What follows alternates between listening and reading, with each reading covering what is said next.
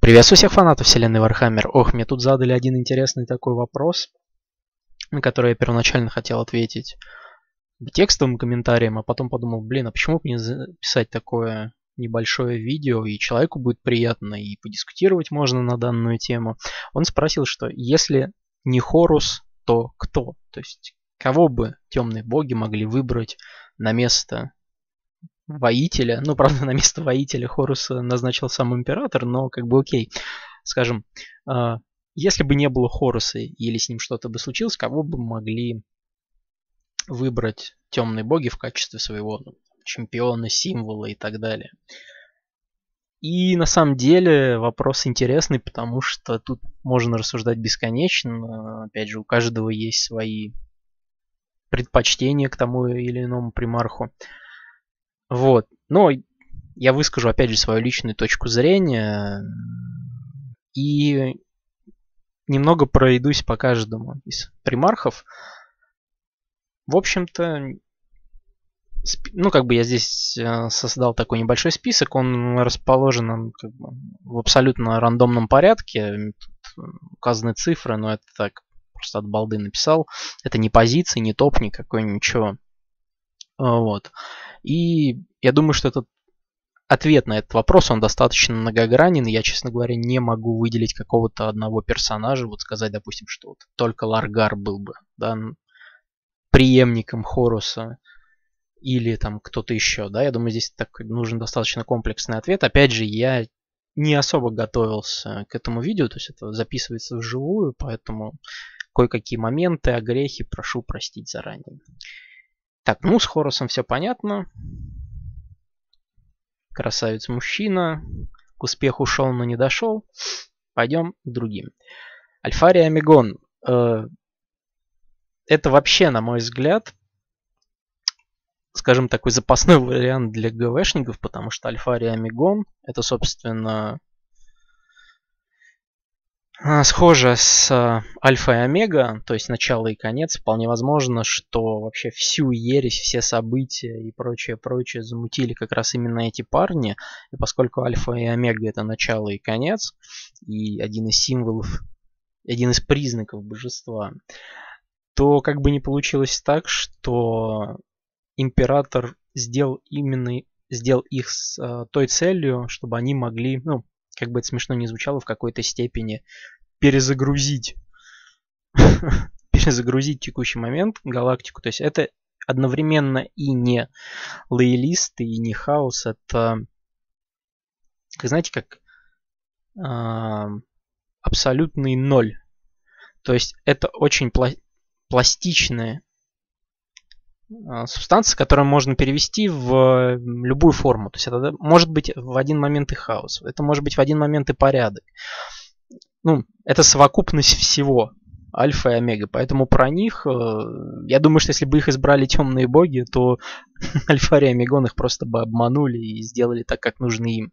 Они бы точно не стали им служить, не стали бы их рабами, потому что ну, Бойтесь донайцев дары приносящих, говорится. Так что вряд ли, я думаю, нет. Тем боги хаоса бы не рискнули их э, выбрать в качестве своего чемпиона, чемпионов. Ну или чемпиона. Одна душа на два тела. Потому что сами бы боги хаоса остались в дураках. Ангрон э, нет, слишком прямолинейный, хоть э, он и великий воин, один из величайших воинов даже среди примархов. Но ничего, кроме резни и абсолютного разрушения, что, в общем-то, хаоса не надо, ведь если будет абсолютное разрушение, хаос не может с этого питаться. Ему нужны почитатели, поклонники, с чего и подпитываются боги хаоса, их эмоциями, их поступки, их грехи, питают их. А Ангрон это абсолютное разрушение и абсолютно вычищенная под ноль галактика, плюс достаточно прямолинейная, опять же, при всем своем могуществе, при всем своем воинском великолепии, он э, не лидер для масс, скажем так. Он не будет для них примером, он не станет тем, кто сможет ну, подчинить э, массы не только силой, но и словом, харизмой и остальным. Как исполнитель, да, как исполнитель воли, там, когда нужно действительно просто э, уничтожить, вырезать их под корень, это идеальный вариант. На что-то большее, при всем желании, ну, скорее всего, нет, да и я не думаю, что Ангрон бы сам был бы. Это Мурат. Вот. Ну, пойдем к следующему. Вулкан. Интересный вариант, с учетом его обилки по возрождению. Постоянный.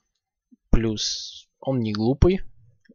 Отлич... Превосходный кузнец и, наверное, из... изобретатель в плане крафта, оружия и прочего. Пожалуй, лучше даже, чем Ферус. Но... Опять же, как лидер, не самая, интерес... не самая интересная фигура. Плюс, опять же, как известно из Бека, Саламандры очень положительно... От... Ну, они, в общем-то, гуманисты, по большому счету. То есть они заботятся не только там о долге своего легиона, но и о простых людях. И в них слишком силен гуманизм определенный, чтобы прям так уж поддаться хаосу. И опять же, полностью, наверное, искоренить невозможно, и в какой-то момент все это приведется ну, к предательству со стороны того же вулкана, скажем, тех сил хаоса, которые его подчинили, потому что до конца вряд ли в нем можно искоренить вот это чувство. Ну, опять же, вулкан, на мой взгляд, не очень хорошо раскрыт в, книг, в книгах по Ереси на текущий момент. Так что, ну, сомнительный вариант, опять же, сомнительный. Дорн. Вот это интересней, потому что Дорн это отличный организатор. Опять же, скараптить его выгодно еще и потому, что он возглавляет оборону Терры, то есть фактически, ну, откроет двери, прям скажем откроет дверь, откроет ворота в замок моментально, если бы он перешел на сторону хаоса. Очень сильный, умный персонаж, толковый, хороший организатор. Опять же, пользуется популярностью у масс, но его абсолютная лояльность импе и понимание, скажем, своего места вряд ли делает его карапт возможным. Но это был бы интересный вариант, на самом деле, один из самых лучших, на самом деле, для роли, ну, как скажем, для, в качестве альтернативы Хорусу, один из лучших вариантов по многим причинам, по очень многим. Я думаю, что, ну, вот, я не люблю, как бы там, говорить про топ-3, топ-5, но если так мерить такими показателями, то в топ-3 бы вошел легко. Он отличный, превосходный тактик, э, знает, как организовать оборону. Самое главное, у него ключи от дворца фактически. То есть он мог бы привести э, вражеские войска прямо в сердце Империума и, в общем-то, его предательство бы оказалось, одним, ну, пожалуй, одним из самых страшных. Плюс лидер и весьма харизматичный. О, ну Желеман это точно войдет в топ-3 потому что фактически тот же Дорн, но с большими амбициями, что, кстати, гораздо страшнее. А, потому что Дорн прекрасно, ну, он в чем-то даже умнее Желемана, и он понимает всю ситуацию. Желемана при, всей, при всех его абсолютных достоинствах, да, но у него есть амбиции, причем амбиции очень серьезные, не зря сейчас в сороковнике он, в общем-то, исполняющий обязанности императора, и вот его переход на сторону хаоса это был бы вообще просто... Ну, был бы чудовищный удар по лоялистам, потому что у него есть своя мини-империя, а у некоторых легионов нет и, не знаю, там не то что одной десятой, а одной двадцатой того, что, ну, той ресурсной базы, которая есть у Желемана. И Опять же, Желеман гениальный тактик. очень харизматичный лидер, вот за ним реально пойдут люди. То есть на самом деле вот э, при... Они же в чем-то схожи с Ларгаром. Им также, ну, несмотря на то, как бы это чудовищно не прозвучало, на мой взгляд, они очень схожи, поэтому и воюют с друг другом. Они также умеют подчинять толпу так же хорошо. Понятно, что любой примарх может, примарх может подчинять толпу, но, эти, скажем, эти ребята делают это более профессионально, на более профессиональном уровне, поэтому смогли сколотить огромные, в общем-то, ну, Жили сколотил целую империю, а, ну, у Ларгара тоже немало последователей, послушников, и он также жжет своим глаголом сердца людей, да и не только, и сверх людей, и других ребят. Плюс, опять же, Жилиман хороший воин, его как-то все говорят, что он средний, средний, нет, отличный тактик, то есть очень опасный, скажем, очень опасный оппонент. И вот его переход на сторону хаоса ну вот его легко можно представить в роли воителя или, ну, соответственно, в роли воителя и в роли того, кто мог бы возглавлять, кто мог бы возглавить силы хаоса. И я думаю, что даже с большим эффектом, с лучшим эффектом и лучшим результатом, чем тот же Хорус. И, ну, блин, и, на мой взгляд, Империуму просто повезло, что Жили не перешел на сторону хаоса, Опять же, я к нему отношусь достаточно ровно, то есть сейчас многие подумают, что я ему пою дифирамбы. Нет, я даю ему должное как ну, за его способности, но, опять же, для меня есть более интересные примархи в, в этом сеттинге. Поэтому я, собственно, и не собираю ультрамаринов, хотя одно время думал, потому что если почитать книги по ним, ты просто понимаешь, что они наиболее адекватные из всех. Корекс, о, ну тут, опять же, я, поскольку высказываю свое личное мнение, а, я думаю, что боги хаоса его бы не выбрали, потому что у, Хорус, о, тьфу, у Корекса, к сожалению, благодаря авторам Белл, есть такая одна очень интересная черта фейлить почти все, что угодно. Попытался убить Ларгара, не убил попытался что-то сделать с помощью генных технологий со своими воинами, да, чтобы э, быстро наверстать, быстро восполнить потери, да, чтобы сделать новых солдат, и тут зафейлился. И, ну, это нет, опять же, нет. Я думаю, что при всей своей истории с освобождением, как он привел людей к освобождению, нет, на мой взгляд, так, боги хаоса бы посмотрели, взвесили ситуацию, сказали, нет, не, не надо, это мы, собственно, не выходя на поле битвы, уже проиграем там. А, опять же, говорю, это мое личное мнение, я отношусь предвзято, я сразу об этом говорю, у вас может быть другое мнение. Лев и Керс. И просто взял одну картинку, объединил их вместе. А, Лев, опять же, тоже входит в число наиболее опасных для Империума примархов в случае, опять же, его перехода на темную сторону. Потому что, ну, судя по тому, как Льва раскачали в последней книге, э, ну, из цикла Примархи, Примархи, да, что там сделали его просто каким-то убер нагибателем. У него там самая большая боевая боржа, с там технологии со времен, я не знаю, там вот этой темной эры. А, там пишут, что его легион, это их император сделал с такой целью, чтобы просто выжечь галактику под ноль в случае, если что-то пойдет не так. Он какой-то там превосходный тактик, идеальный мечник. У него все хорошо, в общем. Он такой весь супер пробафанный чувак, что он прирожденный лидер. Но опять же, сюжет Ереси развивается, он не стоит на месте, но я бы не увидел за счет его замкнутости и недоверия, он бы вряд ли получил такую популярность среди масс. Хотя, опять же, сейчас его из, него, из него сделали просто какого-то ультимативного бойца, который может покрошить как угодно, кого угодно. И вообще, ну, первый легион, да, можно сказать, первый легион, первый во всем. Керс, ну, тут нет, однозначно нет, потому что...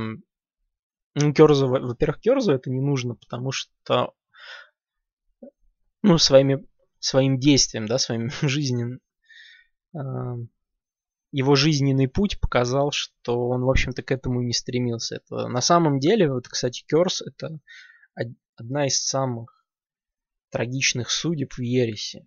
У примархов так точно. То есть этот человек, ну, этот сверхчеловек, а, жил с абсолютным пониманием своей звериной натуры, звериной натуры окружающих его людей и прекрасным осознанием того, что эту мерзкую, всю эту мерзость невозможно искоренить до конца. То есть, по сути, что он понимал, что все вокруг звери, и эту зверину сдерживают лишь условия, какие-то страхи и прочее. Но если дать абсолютную власть и абсолютную свободу, как бы они тебе не улыбались до этого, как бы они не считали себя там интеллектуалами, и все это все ширма, она быстро спадает. Ну, я говорю, можно долго говорить о Керзе, но я думаю, что вряд ли бы на него пал выбор, и опять же, да это и не нужно. Потому что, повторюсь, что Керс один из наиболее трагичных, а, вернее, один из персонажей с самой трагичной судьбой в Ересе, ну, на мой взгляд. Поэтому тут, конечно, нет, но про Керза можно рассуждать долго и, ну, не в этом ролике. О, Лемон Рус, но тут ситуация, в принципе, аналогична с Ангроном. А, ну и опять же, в лояльности Руса к императору, Рус более интереснее в плане ну, карапта, чем Ангрон. Ну, понятно, кто бы его скараптил, это Хорн, скорее всего. Тут даже думать не надо. А, я, правда, уже где-то рассуждал на эту тему, и, в общем-то, большинство высказалось за то, что, скорее всего, Хорн бы его скараптил. Но, опять же, Рус, это не зря его сыновей называют палачами императора. Это как хороший инструмент может быть, лучший инструмент, то есть приведение к согласию, к тому, чтобы покарать недовольных, вот. Ну, плюс король, да, волчий король. Был бы интересный вариант на самом деле. В принципе, я не отрицаю того, что он так вошел бы, наверное, ну, в топ-10 однозначно. Тут э, в топ-5, ну, может быть, хотя интересный был бы вариант, он свирепый, плюс он не глупый, что бы там про него не писали. И если есть палачи императора, то почему бы не сделать палачей империума? То есть тех, кто мог бы привести на плаху весь империум. Это был бы интересный, кстати, вариант. А, более интересный, чем Ангрон. Плюс, опять же, не стоит забывать про копье, которое было у Руса. Тоже как ультимативный вариант, чтобы поразить того же императора. В принципе, нет. Кстати, Рус, я вот сейчас даже немного изменю свое мнение. Сказанное в начале Рус очень достойный вариант. Очень. Ну, один из фаворитов, Ларгар. Вот, первосвященник хаоса, как он себя называл собственно, и в событиях ереси стал главным, стал главной причиной этой ереси. А, хороший вариант, один из лучших вариантов, но опять же, на мой взгляд, все-таки он за счет почитания божеств хаоса, он как назывался священник, в нем больше покорности. В какие-то моменты это хорошо, особенно для сил хаоса, получить идеально на 100% покорного и преданного ну, лакея, можно и так сказать, которому, который, которому за счастье выполнить любой приказ своих господ, но в некоторые моменты нужна и определенная свобода, чего бы у Ларгара скорее всего, не было. То есть для того, чтобы творить действительно какие-то великие вещи, должно быть небольшое смутьянство, должна быть отвага, конфликтность определенная. Вот, кстати, что было у Хоруса, но чего не было у Ларгара. Но опять же, можно легко представить, что это он повел силы хаоса на Терру, и, ну, вполне как вариант, да, но слишком предсказуемый вариант. Кстати, может быть, э, если будет какая-то ересь 2.0, то, скорее всего, он, а не Абба станет избранником темных богов. Ну, кто знает. Ну, опять же, ну, про Ларгара долго говорить не буду. Понятное дело, что все скажут, что это наиболее реальный вариант на замену Хоруса. Магнус.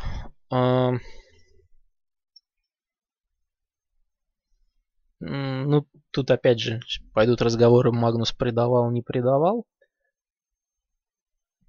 Извиняюсь, немного кофе выпью, чтобы не уснуть.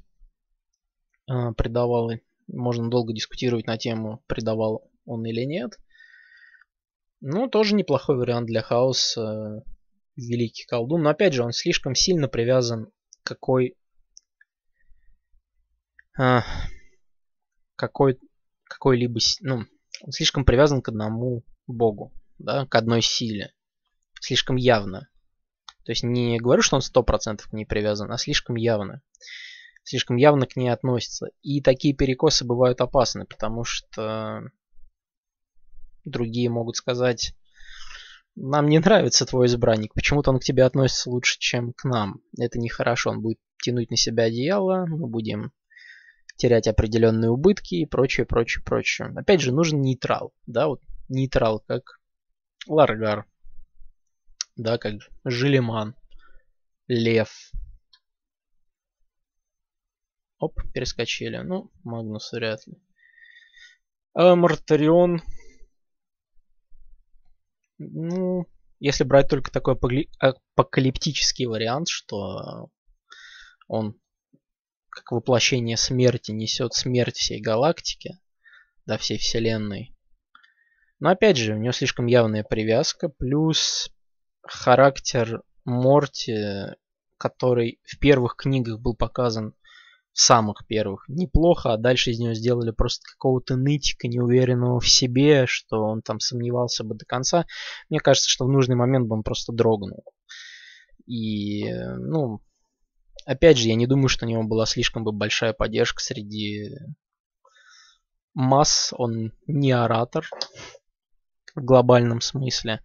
Весьма замкнутый. Ну, да и харизмы особо у нее нет, на мой взгляд. Плюс, опять же, слишком явная привязка. Перт, ох.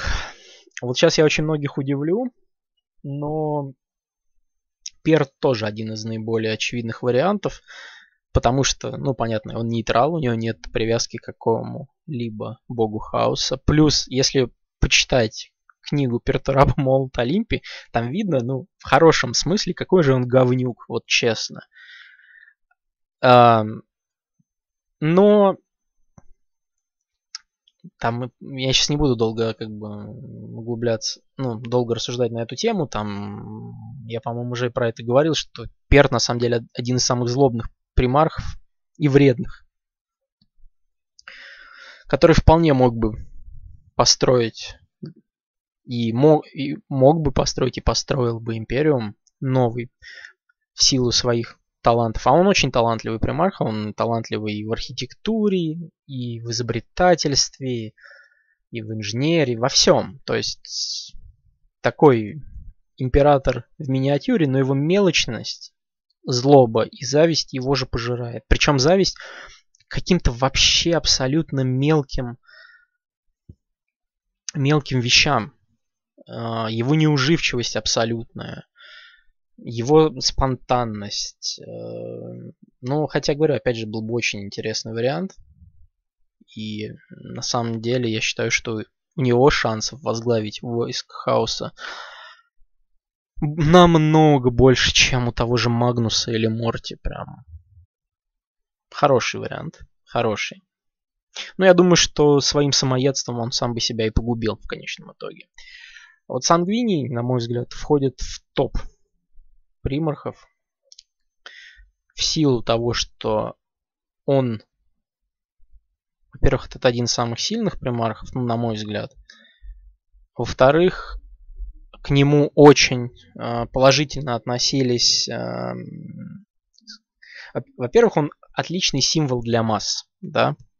скажем, масс, массовый потребитель его воспринимал на ура.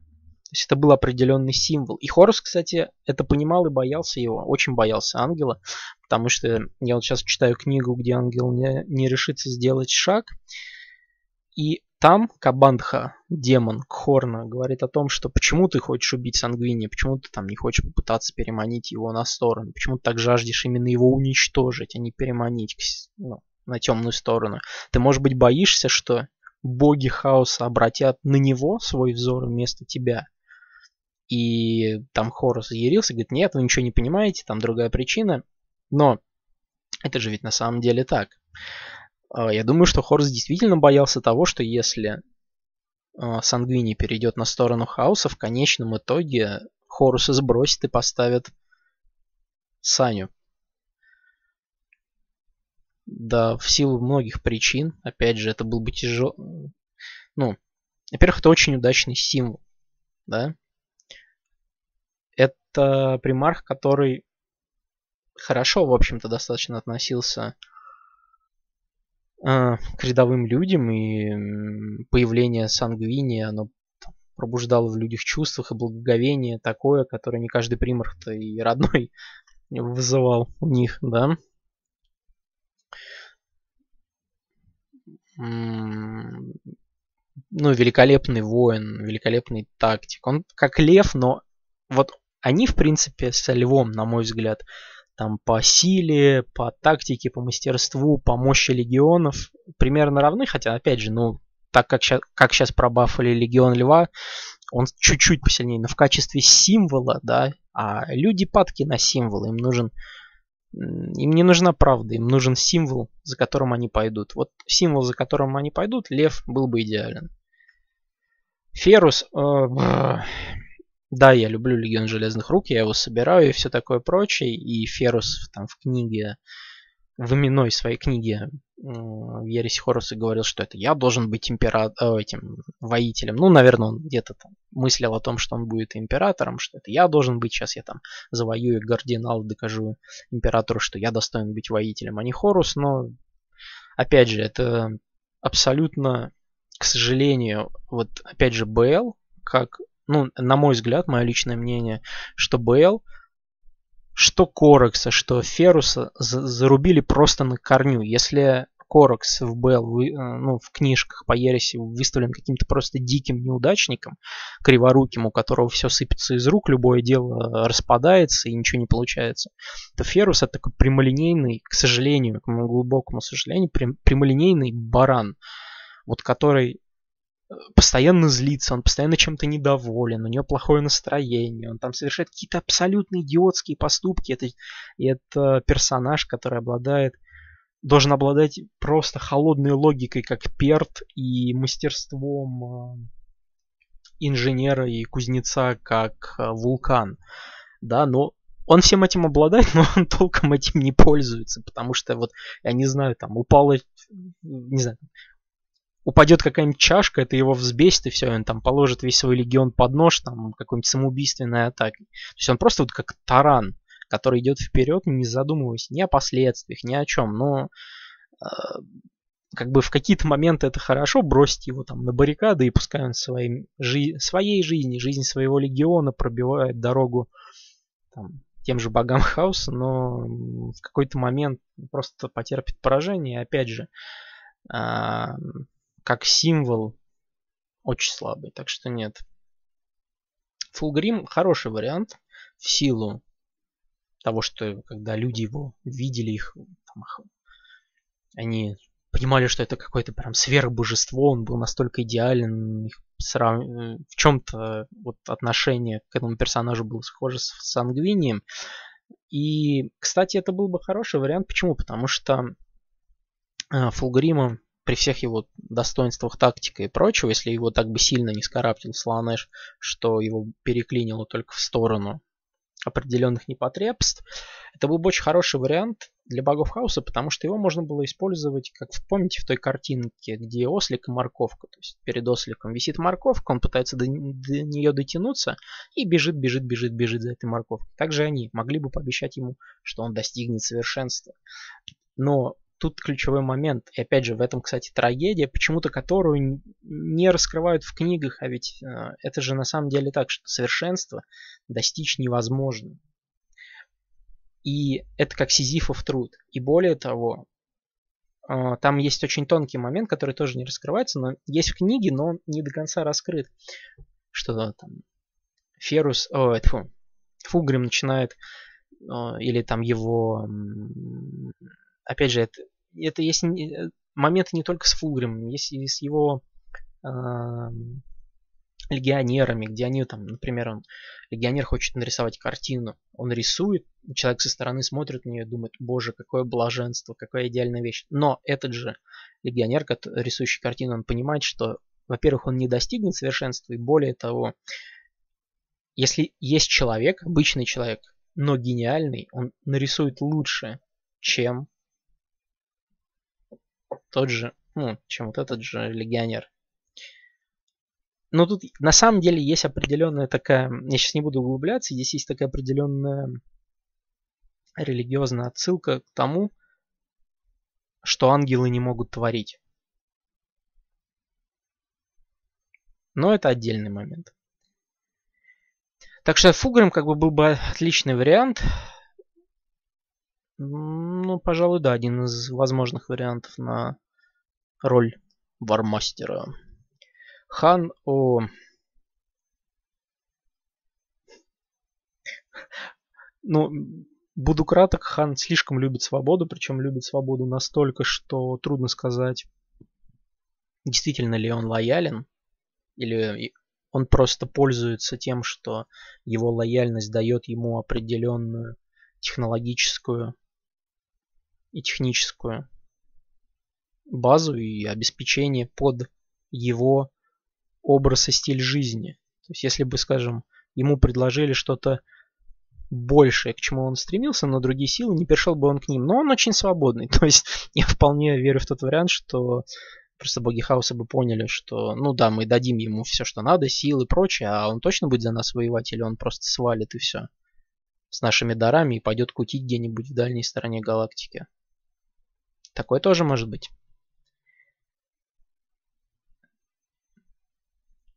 Ну и подводя итог, такое вот у меня немножко спонтанное рассуждение, но подводя итог, я не могу выделить кого-то одного, но скажу наиболее вероятных, по моему мнению. Это мое личное мнение, это моя личная глупость, но просто отвечаю на вопрос. Итак, на мой взгляд, это или Дорн, или же Лиман, Лев, ну, Маргар понятно, Перт, я могу, опять же, долго на эту тему спорить и готов ну, обсудить даже этот момент, что Перт, Сангвиний вообще один из вероятных кандидатов, ну и Фулгрим. Ну вот такое мое личное мнение, извиняюсь за спонтанную речь, да, но записываю на живую, без дублей, без всего, просто как рассуждение. Надеюсь, что оно вам понравилось, вы его посмотрели. Можете написать в комментариях свои мнения, подписаться на канал и посетить группу ВКонтакте. Ну а на сегодня все. До новых встреч. Пока-пока.